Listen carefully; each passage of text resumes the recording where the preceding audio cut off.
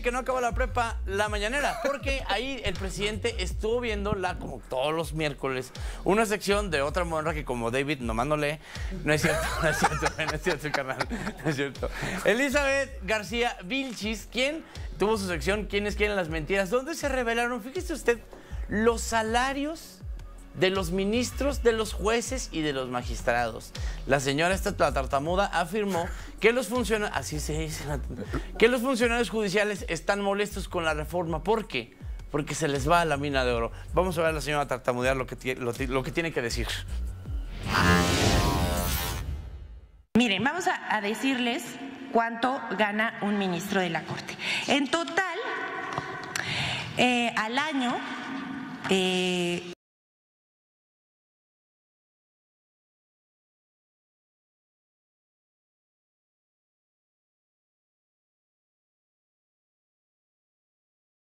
203 pesos mensuales. De aguinaldo, más o menos son 40 días para los ministros. Esto es un monto de 586 mil 92 pesos más de medio millón de pesos. De prima vacacional, 95 mil pesos.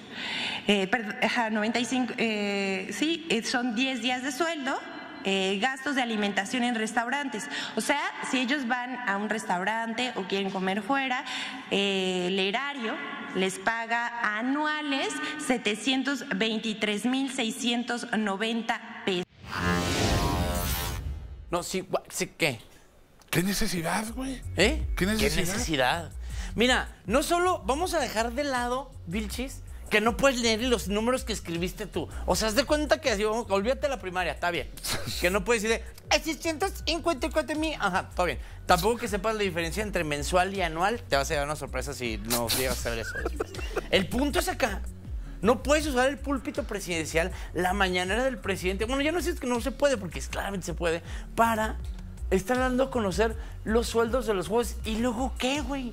Pues si este país no es un país bananero y, paupérrimo para no pagarle a alguien que es una pistola en lo que hace, un sueldo que claramente merece. Ahora, el tema es que, que el presidente le esté a ustedes pagando cacahuates porque son unos simios, güey. No quiere decir que eh, otra gente debe ganar lo mismo. Pues cuando uno acaba la escuela, uno puede pedir más sueldo. Esa es la cosa acá. O sea, están tratando de tratar el país de tratarlo como si fuera un país miserable, un país de gente incompetente y estúpida. Cuando alguien tiene todos los doctorados de estos señores, todo el tipo de estudios que requieren, todas las pruebas de competencias, claro que se merecen ese sueldo. No más que el problema es que ustedes están llevando con puro, con puro pelagatos, que no saben ni leer un documento que no saben ni leer unas, unas cifras, unas comas, pues claro que le vas a pagar 12 varos, güey y, no le pagan, y no le pagan 12 varos a la señora, ¿eh? Ay, tampoco te pagan. Porque está. Y, trabaja un día a la semana, mi Trabaja un día a la semana. Un, ratito ahí. Y el tema es este, o sea, el,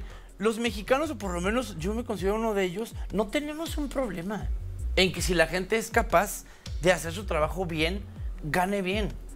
¿Por qué? Pues porque conocemos gente que está preparada y decimos, oye, pues que gana esto a todo dar. Lo malo es cuando uno es un tarado, un inepto, uno que yo y luego gana esas cantidades. Ahí es donde sí nos molestamos. Y como dice Gabrielito, ella gana 92 baros, güey. Ahí está. Ahí está, güey. Por, por, Un dillita, güey. No, mi Un dillita. Mi Luis me tiene que chingarle un mes. Ajá para juntar para todo el año. Y Luis tiene que ser ahí este, auditores nacionales uno tras un mes para poder pagar su vida. ¿eh? Para poder su pobre, su pobre penthouse ahí en Punta de Y aquí la señora que tiene que transportarse nomás viene de Puebla y se va, güey. Y dijiste tú, no, pues este, lo, lo, hace a todo dar. Ni eso, no, Ahora, y como dices tú muy bien, ¿qué necesidad? ¿Para qué? A ver, pon tú los sueldos, ¿qué, qué va a hacer? que es que no todo el mundo es chairo, no todo el mundo se enoja cuando la gente empieza a ganar bien. O sea, entiendan que no todos estamos frustrados. Y hay gente que creemos que en, la, la meritocracia, que el que más sabe, pues que se le pague más. Vamos a un pequeño corte comercial y regreso ahorita a la, mañana del precio de 140 mil pesos por hacer eso. Vamos a corte y regresamos.